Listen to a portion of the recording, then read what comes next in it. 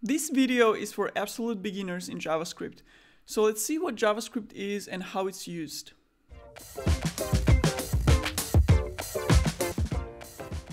All modern web applications, which are applications that are used through internet browser, are all written using JavaScript because it has become the standard in developing web applications.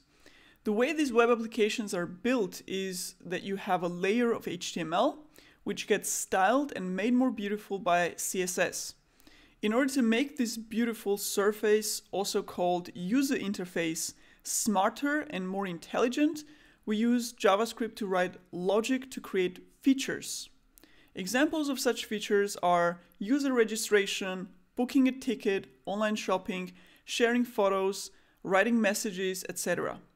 So when thinking about how websites are built, one can separate the design layer and logic layer. And in big complex applications used by millions of users, each part becomes big enough on its own. So as a result, you also have website designers, also called UI designers, and JavaScript developers as separate jobs.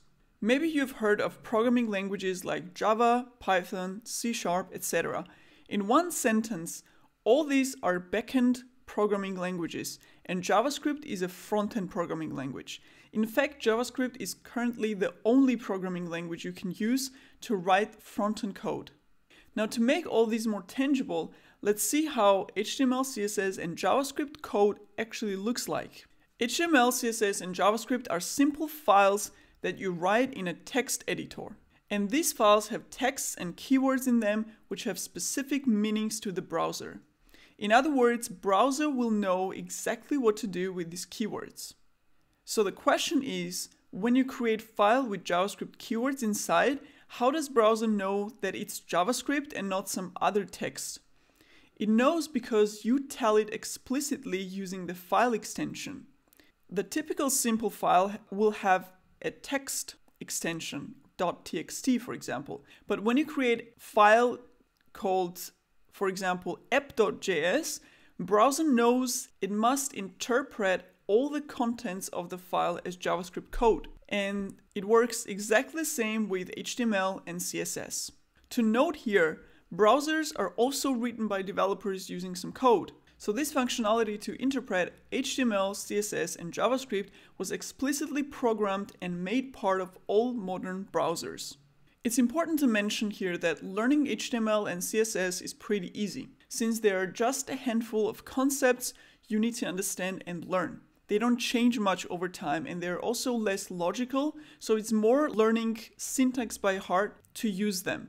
JavaScript, on the other hand, is very dynamic and much more powerful since you write almost all the logic with it. So JavaScript changes a lot and improves continuously to make writing all this logic easier and more structured. So obviously, when you look at a simple web application, uh, logic for simple payment or uploading a picture or writing a message can be straightforward and easy. But think of the complex websites you use daily that have hundreds of functionalities. So that's a lot of JavaScript code that developers have to manage and work with, and that can be very challenging. Because of that, over time, many developers or teams of developers that use JavaScript came up with different ways to improve it and make it easier and better, and they did it in parallel, independent of each other, or also based on each other's ideas. And as a result, different JavaScript quote unquote flavors, or as we call them, frameworks emerged. So, framework is basically an improved version of pure vanilla JavaScript which offers its own additional concepts and syntax on top of JavaScript concepts and syntax that makes writing complex JavaScript code easier. And most of these frameworks help you pretty much do the same, but the difference between them is in how they help you write the code, structure it, and manage it.